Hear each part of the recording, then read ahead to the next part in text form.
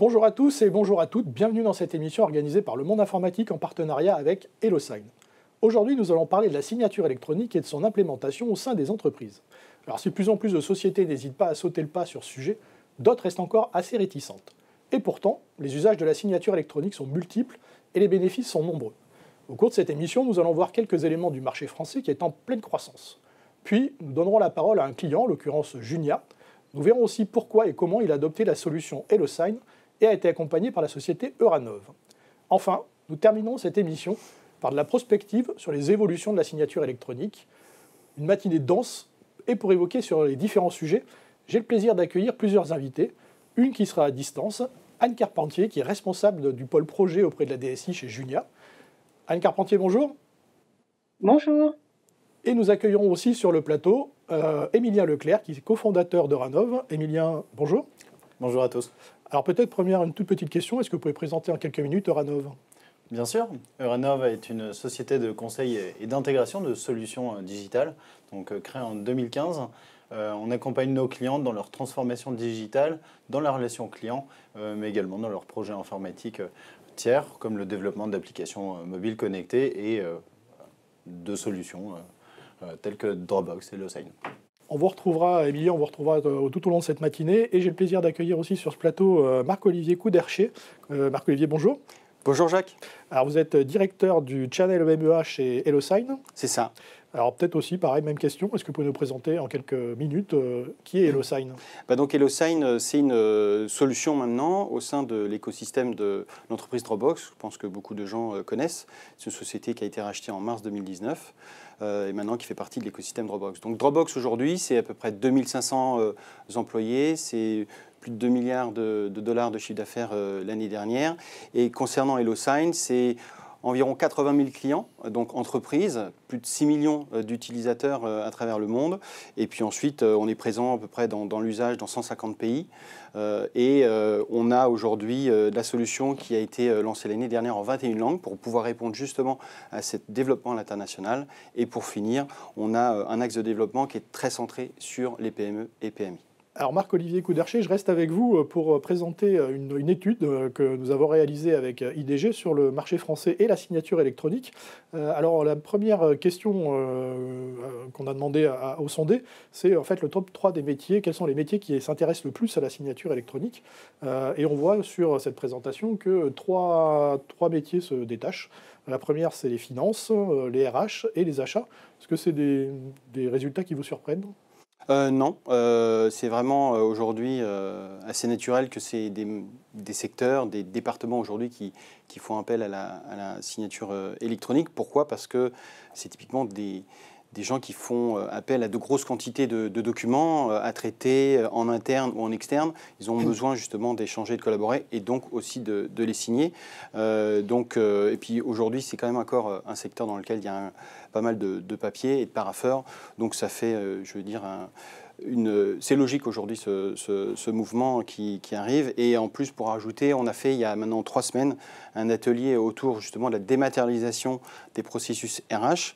Euh, et beaucoup nous ont fait part, euh, ce que vous évoquez. Donc, un, c'est placé à la feuille de route. Donc, c'est quelque chose qui va venir là, et puis surtout avec ce qu'on a connu de la pandémie, il va accélérer ça sur 2020, 2021 et 2022, ou d'autres ont déjà cette solution euh, en place et ils sont en train de la mettre en phase d'implémentation euh, au sein de leur département.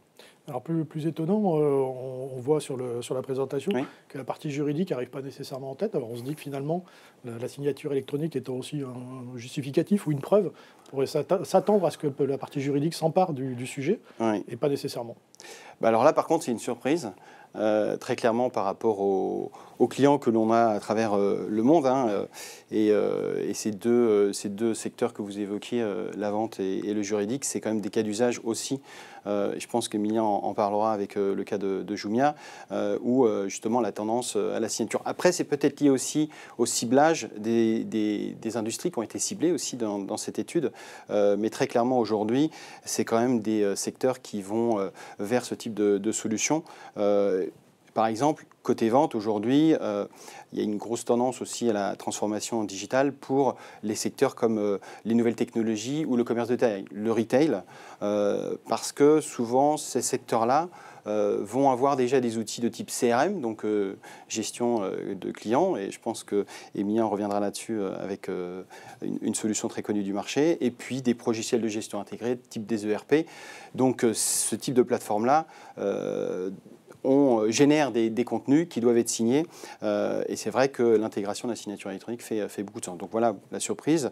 Après, c'est vrai qu'il y a d'autres secteurs, par exemple comme l'éducation, où là, on se rend compte que bah, la partie vente était moins importante. Il y a plus d'emphase sur la partie RH euh, qui, en plus avec la, pandémie qu'on a connue, la contractualisation des intervenants est quelque chose qui était aussi demandé. Côté juridique, alors ça, c'est aussi euh, une, surprise parce que euh, je peux vous citer un exemple euh, avec un autre client qui s'appelle Unique Héritage Média, qui est un acteur dans le monde de la, de la presse, de l'édition. Ils font des éditions pour enfants, des illustrations. Et bah, je pense que vous connaissez peut-être, étant dans ce monde-là, souvent vous travaillez avec des, des, contributeurs, donc c'est des pigistes, des gens qui vont apporter. Et dans ce cadre-là, eh ben, ils ont un contrat et à chaque fois qu'ils ont une nouvelle tâche, ils ont une, un avenant à leur contrat. Euh, euh, et, donc, euh, bah, dans ce cadre-là, avec UHM, ils ont, avant, ils géraient ça totalement de manière papier, avec un envoi en recommandé. Donc, vous vous rendez compte, en fait, de, tout ce que ça représente en charge de travail. C'était une personne à, temps plein, et, qui ne faisait pas forcément une tâche très valorisante. Et donc, grâce, en fait, à, ce projet-là qui a eu lieu donc, en 2020, qui a été fait avec un autre de nos, de nos partenaires, on a pu entièrement digitaliser ce processus-là, surtout également s'intégrer avec un outil qu'ils avaient en interne pour la gestion de contrat. Et donc maintenant, ça fluidifie, ça simplifie les échanges. Et en termes de retour euh, d'un point de vue usage, bah, très clairement aujourd'hui, avant c'était plusieurs jours pour attendre la signature, maintenant c'est maximum 48 heures. Donc le gain a été euh, très important euh, là-dessus. Et dernier point, bah, en plus quand tout est digitalisé, vous pouvez avoir des, des, retours, des tableaux de bord et vous pouvez avoir une vraie vision transverse de ce qui se passe dans l'entreprise. Donc je dirais que des bénéfices. Donc un peu étonné par rapport à ça. Alors on va voir justement, euh, une fois que les, là vous parlez des, bénéfices, mais on va regarder peut-être aussi comment les entreprises euh, s'adaptent à la signature électronique et quels sont finalement les enjeux ou les défis qu'elles ont à relever. Euh, un des premiers challenges qu'on voit aussi sur cette présentation, c'est le fait d'adapter l'outil aux procédures, aux procédures internes. finalement, comment on peut lever ce doute? Alors oui, et le doute va être levé par rapport à la préparation. Euh, et, je pense que Emilien, avec euh, Julien, en témoignera aussi, euh, cette phase de préparation pour vraiment ben, recenser les besoins aussi sur un projet de signature électronique pour, bah, pour qui pour qui on veut mettre ça en place, pour, pourquoi, donc pour quelle, pour quelle tâche, et, et, d'adapter justement à la procédure, les procédures internes. Donc ça, c'est vraiment quelque chose qui est aujourd'hui primordial à, mettre en place parce que ça paraît toujours simple sur le papier, euh, la signature, tiens, je, reçois quelque chose, je le signe et puis c'est bon, mais on se rend compte aussi que euh, souvent le retour des, utilisateurs qui ont des, enfin des sociétés qui ont des solutions de signature électronique, c'est qu'ils disent souvent que mon outil n'est pas adapté à mes processus internes. Euh, et c'est là où on revient en fait sur la partie EHM et sur aussi le, type de solution de signature électronique qu'il y a. donc chez nous, enfin sur HelloSign, c'est la même chose. Donc il y a une approche web app où c'est typiquement l'utilisateur qui va lui-même déclencher son processus de signature, il est l'expéditeur, mais euh, l'inconvénient, c'est que ce n'est pas intégré. Et puis ensuite, il y a d'autres approches qui sont des approches plus intégrées avec les API, donc ça c'est un terme un peu, un, peu, un, peu, un peu difficile, mais c'est Application Program Interface, c'est ce qui va permettre euh, et c'est aussi le, projet euh, de, de, Junia, de pouvoir permettre à deux systèmes de pouvoir se parler entre eux. Et c'est là où en fait l'intégration euh, va, va se faire et là où on va vraiment pouvoir adapter la solution à la procédure. et puis, point important, je le disais au début de, cette intervention-là, l'accompagnement d'un partenaire va être primordial aussi pour le succès de, ce type de projet. Alors un point euh, que vous avez soulevé, c'est la, partie utilisateur et qui est un des, euh, une des réponses aussi les plus, les plus citées, qui est la notion d'expérience utilisateur. C'est ça. Euh, comment on peut répondre justement à cette, cette problématique? Bah, Je pense que l'expérience utilisateur, c'est bah, le succès du projet. C'est-à-dire si l'expérience utilisateur n'est pas là, le résultat ne va pas être probant, il y aura une mauvaise adoption de la, solution. Donc euh, c'est vrai qu'aujourd'hui, c'est quelque chose qui est, euh, primordial euh, pour la, mise en place de ce type de solution-là. Et donc nous, avec l'aide de nos, nos, partenaires, on a quelques critères qui sont essentiels pour que justement cette expérience utilisateur soit la, meilleure. La première, c'est justement, bah, il faut que l'outil soit simple d'utilisation et qu'il puisse également être agile parce que euh, on voit avec la situation actuelle, euh, on est euh, post-pandémie, on a connu une année compliquée. On a eu aussi un, changement sur les, manières de travailler. Je pense qu'on va plus retravailler comme on travaillait il y a un an auparavant. On va peut-être avoir des approches hybrides. donc, par exemple, nous, chez, Dropbox, on a décidé de devenir virtual first. Donc, on n'a plus de bureaux en propre. On a des espaces qui s'appellent des studios de collaboration entre équipes ou avec les gens externes. Mais le travail individuel aujourd'hui, c'est quelque chose qui va être chez soi. Euh, et donc, bah, typiquement là-dessus, il faut que la solution elle puisse également être agile. Il faut qu'elle puisse s'adapter à la, situation. Et surtout sur la partie mobilité, comme euh, je vous l'ai euh, dit, sur justement les différentes modes de, travail qu'on peut, peut avoir. Et l'autre point, bah, c'est l'adaptabilité l'interopérabilité. Donc il faut que cette solution puisse euh, s'adapter quand même avec des processus qui sont connus, parce que comme ça, ça va permettre aussi aux utilisateurs de, rentrer vraiment sur ce type de projet-là. Donc l'interopérabilité, c'est important. Autre point, pour tout type de projet, et c'est ce qu'a fait également Emilien avec euh, Junia, c'est la formation. Il faut quand même former aussi un peu les utilisateurs, même si la solution est simple. Il y a quand même des changements, l'accompagnement en changement. Et puis le dernier point, c'est le support. Parce que euh, lorsque ce projet est en place, ben, on va commencer à avoir une routine d'usage et il faut bien aussi pouvoir supporter euh, le client et les utilisateurs euh, dans peut-être les prochaines étapes. Donc on voit que ce n'est pas finalement une solution euh, entre guillemets simple, mais bah, c'est une solution très simple, mais justement elle est simple tout en étant intégré. Et donc, il faut accompagner euh, ce, changement. Alors, on a posé une dernière, euh, une dernière question sur euh, pourquoi adopter finalement une solution de, signature électronique avec sous-jacent quels sont les, bénéfices qu'on veut avoir. majoritairement, les, sondés ont, mis en avant la mise en œuvre de la rapidité de la mise en œuvre de la solution et finalement une meilleure gestion. Est-ce que c'est votre constat aussi? Alors nous, c'est clairement le constat. Hein. Euh, on le voit, et surtout parce qu'il y a une, croissance rapide, j'en reviendrai sur, quelques chiffres après. Euh, mais oui, donc on a des bénéfices euh, qui sont salués par les entreprises et on, on, va catégoriser ça en, des bénéfices à court terme et des bénéfices à moyen terme. Les bénéfices à court terme, bah, un des bénéfices, je pense, le plus important, et je pense que ça sera certainement également évoqué avec, Anne et avec, avec Emilien, c'est le gain de temps. Parce qu'on va, automatiser euh, toute une série de, tâches euh, qui avant étaient chronophages. surtout, je pense, dans le monde de l'éducation, il y a quand même beaucoup de choses euh, dans les process à, faire fonctionner ensemble. donc, ça va permettre de gagner du temps. Et puis, bah, donc, en gagnant du temps, on va avoir de la productivité. Et puis le nerf de la guerre, c'est quand même la compétitivité. Donc ça va aussi apporter plus de compétitivité parce que si je suis en capacité d'envoyer plus rapidement mon contrat, que derrière il est signé, donc derrière tous mes processus s'enchaînent, forcément la, compétitivité va s'en faire ressentir. Tout en sachant qu'aujourd'hui, on utilise encore, euh, donc dans nos études euh, d'usage, 29% encore du temps aujourd'hui euh, de, nous, dans notre quotidien, sert à des tâches qui sont des tâches non productives. Donc c'est vrai que là-dessus, c'est un élément qui est important. Et je dirais pour, pour détailler ça, j'ai deux cas, deux exemples d'autres clients. le premier client, c'est... Euh, c'est une société qui, euh, intervient dans le, coworking. Donc euh, le coworking va certainement être un, facteur aussi de développement parce que, comme je vous l'évoquais, les modes de travail vont changer. Donc on peut être le lundi chez soi, le lendemain on peut être peut-être dans son entreprise, et puis après on peut être en déplacement avec un client, et puis l'après-midi il faut que je puisse continuer à travailler, donc je vais aller dans du coworking. Donc ces sociétés-là, en plus, a une particularité, c'est qu'elles c'est qu'elle euh, loue des espaces euh, un peu atypiques, donc euh, des églises réformées, des choses de ce type-là. Donc, c'est bien, mais comme ils sont en forte croissance, ils ont donc des chantiers, mais il n'y a aucun équipement. Donc quand vous avez besoin de signer un PV, euh, et puis en plus celui qui est signataire, c'est le DAF qui n'est pas forcément sur place, ça a été compliqué. Donc ils ont mis en place toute cette procédure de digitalisation de la signature, et maintenant avec un partage de connexion, un ordinateur portable, on peut faire ce qu'on peut. Et comme je vous l'avais peut-être dit aussi, on va, on va aller, on en parlera certainement à la fin, sur euh, qu'est-ce qu'on peut faire pour continuer à s'adapter encore plus à cette mobilité-là. On a, euh, d'ici quelques semaines, la possibilité de faire tout son processus directement de son, smartphone. Et ce certain, Hein, parce que les gens sont prêts à faire demi-tour pour aller chercher leur téléphone, pas forcément leur portefeuille. Donc ce qui est certain, c'est que le smartphone, ils l'auront toujours avec eux pour ce type de choses. Donc c'est là où il y, a un, intérêt. Euh, et l'autre société, c'est une société de services informatiques qui avait connu beaucoup de litiges euh, euh, de par son activité. Et donc il demandait en fait à ses commerciaux et à ses personnels techniques de se déplacer physiquement auprès du client pour signer des contrats, pour signer des CEPA, vous savez, des choses de ce type-là, des PV de, recettes et euh, eh ben, donc vous imaginez, c'est un partenaire, euh, enfin une société de service qui est basée à Bordeaux, qui gère toute l'Aquitaine, donc euh, c'est des milliers et milliers de kilomètres par an juste pour faire cette, cette tâche-là.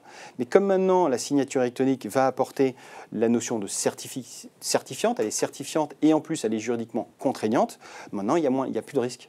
Donc ça veut dire que tout ça, ils ont pu maintenant totalement le dématérialiser et donc le gain a été aussi très conséquent. Et pour finir, de, des, des petites stats, donc on augmente de 80% justement le traitement des contrats par euh, la digitalisation et on va accélérer de 10 jours les cycles de vente. Alors, Marc-Olivier Couderchet, peut-être une, question sur, on a vu les bénéfices sur le court terme, euh, est-ce qu'il en existe aussi sur le moyen terme? Alors euh, oui, certainement, Jacques. Donc plusieurs, plusieurs éléments. C'est, c'est comme tout est digitalisé, il y a une meilleure traçabilité. Donc ça, c'est quelque chose qu'on va plutôt voir bah, justement avec euh, l'exécution des nouveaux processus de signature électronique. Donc ça, c'est un élément qui est important. La standardisation, donc on va standardiser les processus de signature. Donc c'est ça qui va aussi apporter euh, euh, ben, une réduction aussi des erreurs humaines parce qu'on a euh, des choses qui sont beaucoup plus normées. Euh, et puis euh, aussi la réduction des coûts qui sont liés bah, à ce qu'on avait auparavant, la partie papier, la partie affranchissement. Donc tout ça, ça va se voir à moyen terme parce que souvent, c'est des coûts qui sont cachés, c'est des coûts qui sont dans d'autres services. Donc pour l'entreprise, à moyen terme, il va y avoir encore d'autres bénéfices. on va fluidifier également les échanges. ça, c'est vraiment quelque chose qui va aussi se voir à moyen terme. et puis ensuite, cette notion de conformité, on va être beaucoup plus conforme, on va, euh, on va supprimer en fait tous les risques euh, juridiques parce que justement on a cette, euh, cette contrainte juridique. Et puis, je parlerai certainement pour la fin, mais aussi cette diminution de l'empreinte carbone. Alors justement, on va reparler de la partie opérationnelle avec, avec vous, Émilien. on a vu plusieurs exemples, on a vu les bénéfices. Sur le plan opérationnel, comment ça, dire, comment ça se déroule alors les bénéfices à moyen terme, ça va être véritablement la partie expérience client. Donc, ça va véritablement permettre finalement euh, de rapprocher le client euh, du fournisseur. Et euh, en ça, c'est quelque chose qui va s'installer finalement assez vite dans la relation client. Donc le bénéfice va être véritablement de, resserrer les liens entre les entreprises. Et ça, je pense que c'est essentiel.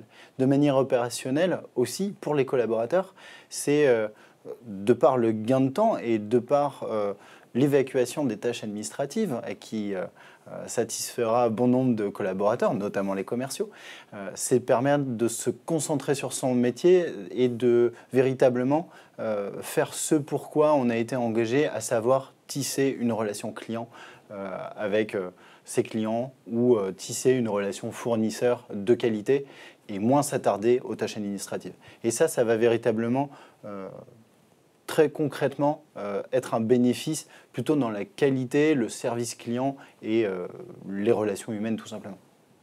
Euh, on va peut-être poser la question à, Emilien, justement, peut-être sur, vous parliez des, deux, des deux cas clients, revenir un petit peu sur la partie opérationnelle. Donc on a vu les, les, dire, les différentes statistiques, les différents éléments sur, sur l'étude.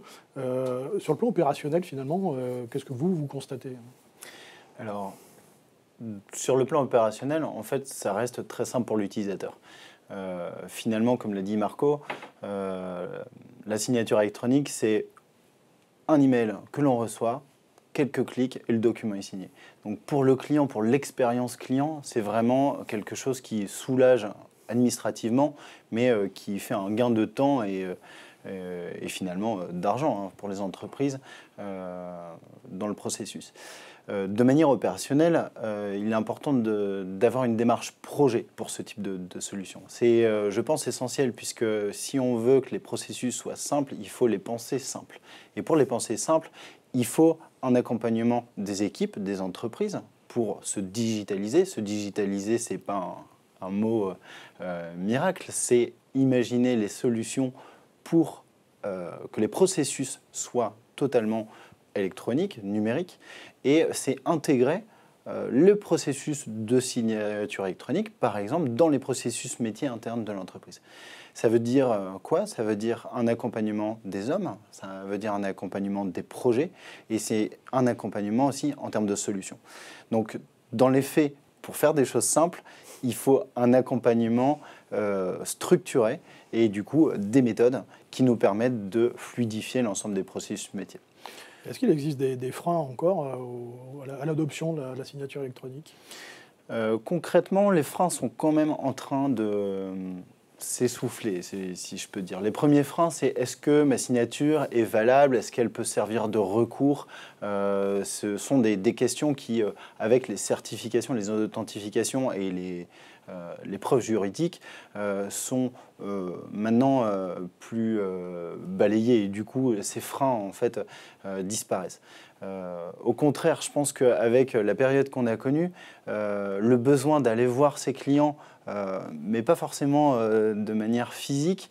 Euh, rencontrer ses clients par des outils, des solutions, la visio en est une, la signature électronique a permis d'aller voir son client signer des bons de commande et fluidifier aussi des, relations qui peuvent parfois être parasitées par le côté un peu administratif de la signature. Donc concrètement, ces freins, en fait, on va dire, disparaissent parce que les usages deviennent de plus en plus présents euh, dans notre quotidien.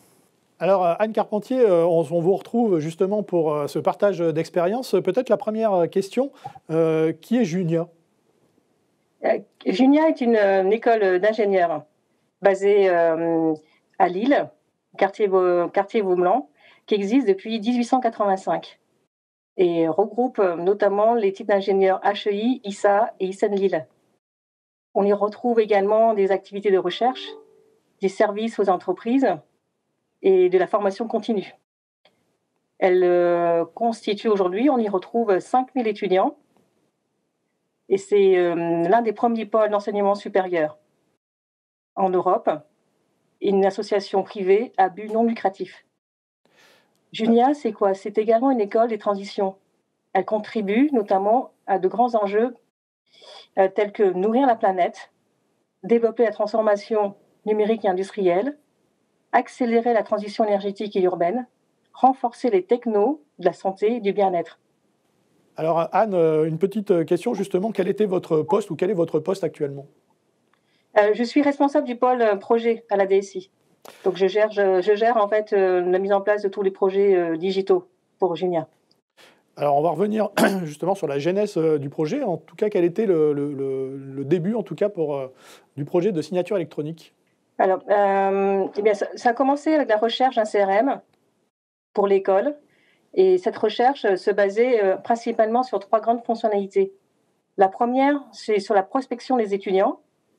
La seconde, sur les admissions parallèles. Et le troisième volet, les relations avec les entreprises c'est-à-dire tout ce qui concerne les stages, le partenariat entre les étudiants et puis des recherches spécifiques pour les entreprises, et, euh, bien sûr la gestion de la taxe d'apprentissage qui nous permet en fait euh, d'augmenter nos revenus.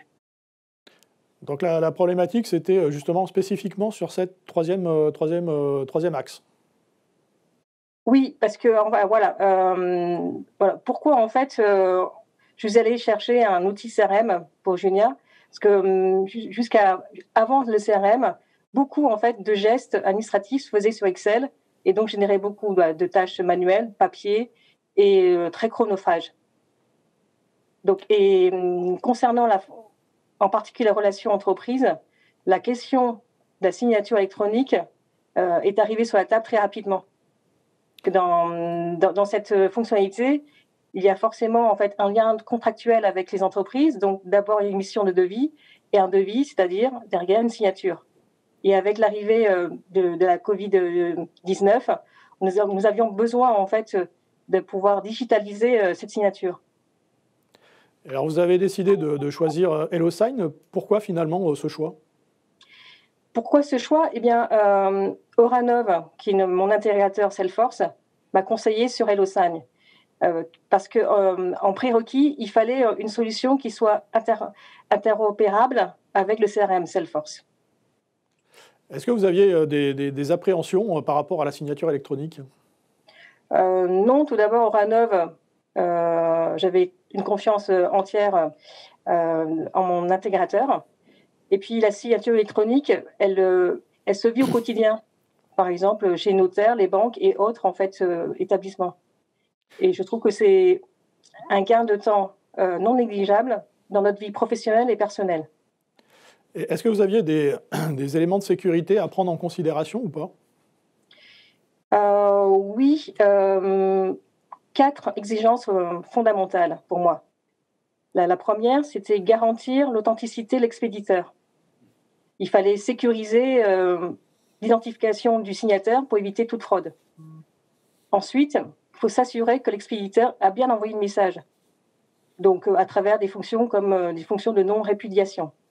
Et bien sûr, crypter le message par une, par une fonction d'achage pour éviter en fait de pouvoir retrouver le message original à partir du message crypté.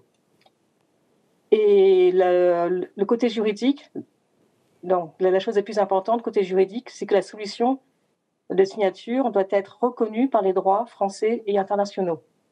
Alors justement, euh, après euh, avoir finalement choisi euh, HelloSign, vous, avez aussi, vous êtes aussi passé par, par Euranov. Finalement, comment s'est déroulé, ou comment se déroule plutôt, la, mise en place de la signature électronique? Bah, On est toujours en, cours de déploiement. Donc ce volet a pris du retard sur la relation entreprise parce que c'était un peu compliqué pour les équipes métiers qui sont habituées à du papier, à l'Excel, à, à une gestion manuelle. Et le confinement ne m'a pas aidé en fait à, pouvoir échanger avec eux, leur expliquer en fait et les accompagner euh, dans, dans, la conduite de la, dans la conduite du changement. donc vous étiez, euh, vous étiez confronté à des, euh, à des réticences ou, ou, de la résistance? Oui, de la résistance parce que bah, les personnes découvraient, ne connaissaient déjà pas le CRM, et en plus, on allait leur apporter en fait la signature électronique, euh, des devis en fait à travers CRM. Ils n'avaient pas vraiment l'habitude de travailler de cette manière-là. Et le fait de ne pas être avec eux en fait dans une salle, en face à face, autour d'une table, pour leur expliquer, voilà, l'accompagnement était vraiment euh, pénible pendant le confinement total euh, que nous avons vécu. Alors vous avez travaillé avec, vous avez travaillé avec Uranov. Je me tourne vers Émilien Leclerc justement pour euh, parler et évoquer euh, cet accompagnement. Comment vous avez accompagné euh, Junia? Alors, tout commence avec Junia dans une phase de cadrage. L'idée est de les accompagner au travers de différents ateliers de cadrage des besoins pour identifier les processus métiers, les outils également, et finalement la finalité de la mise en place de la signature électronique dans leur école, dans leur processus métier, et pour quels acteurs? Pour euh, la partie administrative, pour les élèves, pour les partenaires et fournisseurs. L'idée est de bien mettre sur papier euh, finalement euh, comment les processus sont mis en œuvre et comment simplifier un acte de gestion administratif en une expérience avec la partie administrative, avec les professeurs, vacataires, étudiants et euh, famille pour la signature des, euh, euh, des contrats et, et, finalement, finalement le, la partie engagement contractuel avec l'école. Donc une phase de cadrage, ensuite une phase de rédaction de spécifications fonctionnelles et techniques qui nous permet de bien valider que nous n'avons rien oublié dans la mise en œuvre en termes d'usage, en termes d'information et en termes d'engagement. Euh, ce qui nous amène à créer des modèles euh, pour la signature électronique euh, qui appellent des informations qui sont issues de leur système. Donc c'est également un audit de la partie informatique, des infrastructures déjà mises en place dans, dans l'école. Et une fois que l'ensemble de ce travail préalable est fait, nous partons du coup en phase de conception, donc de mise en œuvre, d'installation de la solution et euh, une fois que celle-ci est faite, c'est une phase donc, de test, de recettage et enfin de mise en production pour euh, le plein usage de la solution euh, pour l'ensemble des acteurs et parties prenantes de chez Junia. Anne Carpentier expliquait euh, tout à l'heure que une des problématiques, c'était aussi l'accompagnement au changement. Est-ce mm. que, vous avez, enfin, que vous avez participé et comment vous avez participé à, cet accompagnement au changement, justement? Alors, il y a deux phases. Il y a une phase d'écoute active des euh, différentes euh, personnes qui sont engagées dans le, dans le projet. C'est comment je travaille au quotidien et comment la solution de signature électronique va m'aider dans mes tâches au quotidien.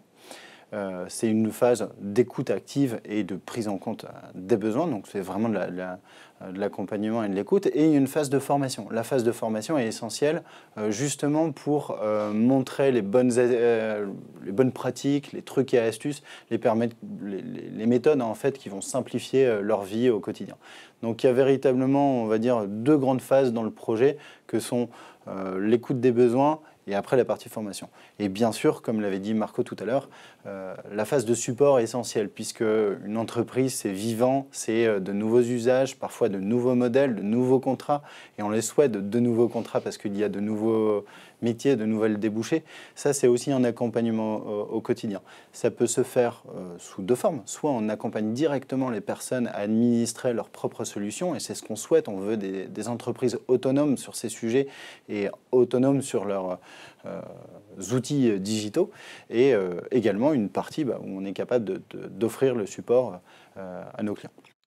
Juste pour, euh, j'allais dire, mon information, mais même aussi pour les spectateurs, euh, c'est quoi des trucs et astuces sur la, signature électronique? Ah bah c'est euh, clairement pouvoir faciliter le pré-remplissage d'une fiche avec une information pré-remplie, c'est-à-dire quand on connecte euh, un outil euh, CRM, par exemple, où la fiche client est pré-renseignée, cette information va être automatiquement renseignée dans un banc de commande. Et euh, le, destinataire, finalement, n'aura simplement qu'à cliquer pour apposer sa signature et valider.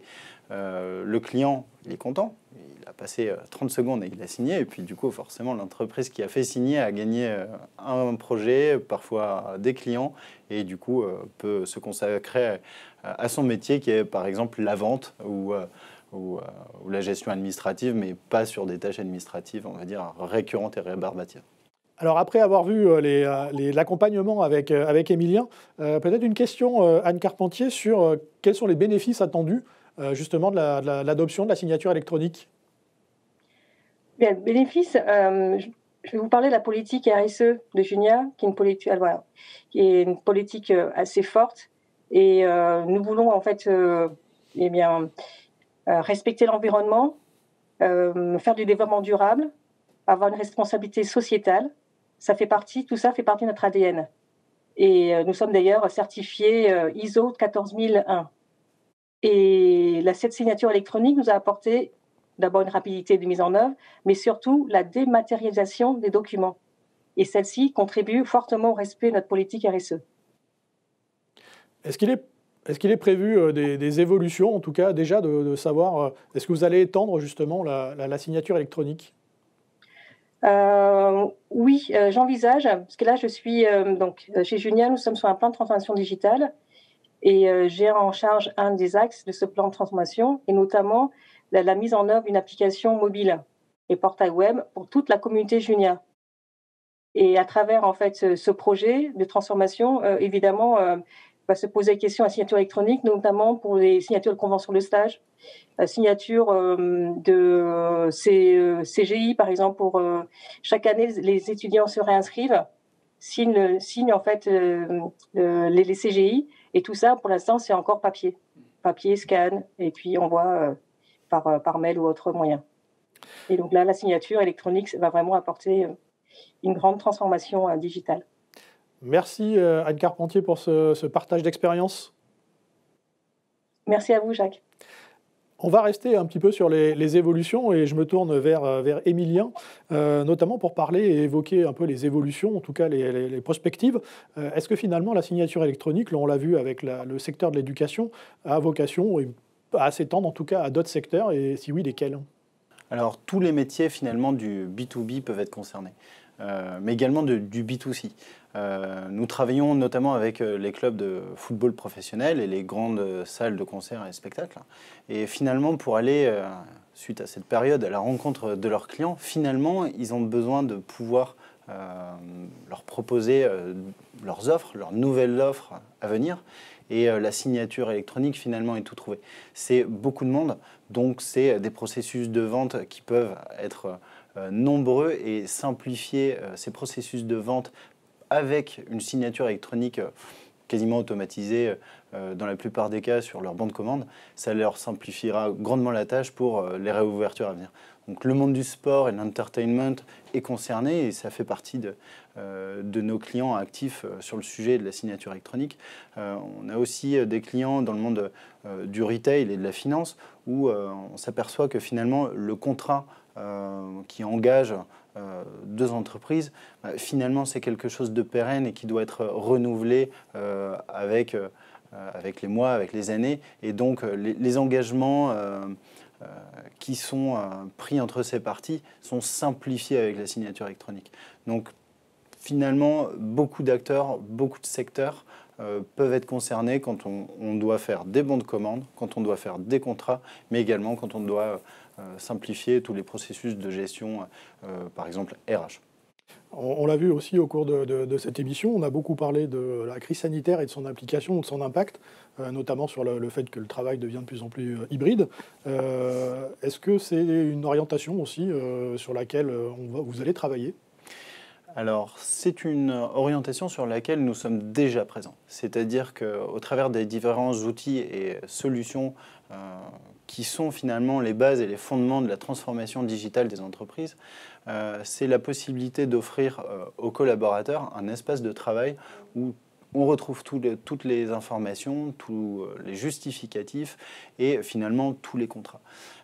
ça veut dire quoi? Ça veut dire qu'on est capable, au travers de la signature électronique, de pouvoir envoyer des documents assignés aux collaborateurs et qu'ils sont stockés sur leur espace personnel, comme par exemple Dropbox tout ça. Est-ce qu'il y a aussi des, je coupe, hein, est-ce qu'il y a aussi où il y a des, implications euh, plus, plus, environnementales, ou en tout cas on entend beaucoup parler aujourd'hui de RSE, en tout cas des, indicateurs RSE pour les entreprises. Est-ce que ça participe aussi de l'amélioration du, RSE ben, tout à fait. Je pense qu'il y a une euh, grande thématique qui ne euh, s'est pas essoufflée, qui est la volonté de faire du zéro papier. typiquement, la signature électronique est tout trouvée pour, pour ce cas d'usage, par exemple. Alors justement, euh, sur, on parle de, RSE, euh, comment ça se déroule chez, Dropbox?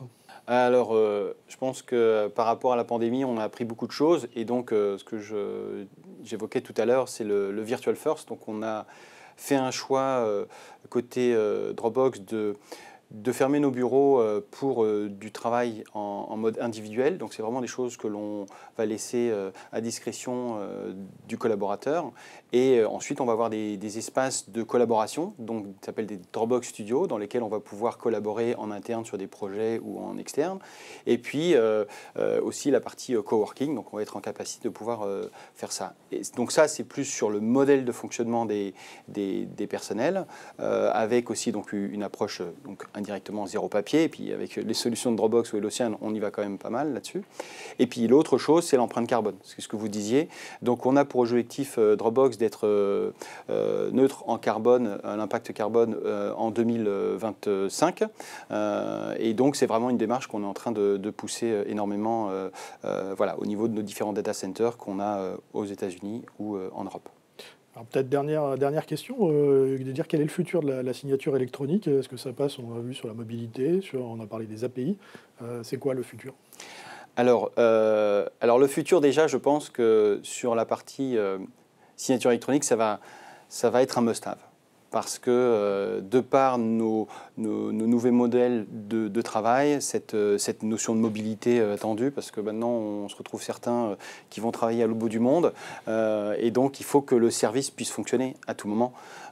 donc cette partie-là, aujourd'hui, dans ce contexte de transformation, va devenir certainement un objectif pour les entreprises d'aller dans cette direction. et puis après, comme on l'évoquait, il y a toutes les économies qu'on peut avoir, euh, moins d'impact aussi à cause du papier, de l'eau qu'on va utiliser et, autres. Et on le voit bien parce que euh, lorsqu'on est arrivé au premier trimestre 2021 où la pandémie euh, euh, a vraiment pris son envol, si je peux m'exprimer ainsi, euh, on a eu une augmentation de 300% des demandes de la signature électronique sur nos infrastructures. Donc c'est vrai qu'on a vu que c'est parti. Et suis après sur la partie produit, donc comment encore accompagner le futur workplace, bah, il y a deux axes. Il y a l'aspect fonctionnel où on continue à innover. et une des innovations, ce que j'évoquais, c'est la partie ultra mobilité, c'est-à-dire qu'on va pouvoir au niveau expérience utilisateur, va donner cette capacité directement de, son smartphone de pouvoir déclencher son processus. Donc ça, c'est un des éléments qui, euh, qui, est important. Et puis, autre euh, pan d'innovation, c'est ce qu'on évoquait aussi, qui est le facteur clé de succès, c'est l'interopérabilité. Donc on va continuer à, continuer à développer ces fameux connecteurs avec, des applicatifs du marché pour faciliter cette interconnexion, pour faciliter cette adoption au niveau des utilisateurs. Rendez-vous est pris. Euh, Marc-Olivier Coudercher, merci beaucoup en tout cas pour, pour votre présentation. Merci Jacques. Émilien Leclerc, pareil. Merci Jacques. Merci à vous. Et Anne Carpentier, euh, merci euh, d'avoir partagé votre, votre expérience. Merci Jacques. Cette émission est maintenant terminée. Je vous dis à très bientôt. Au revoir.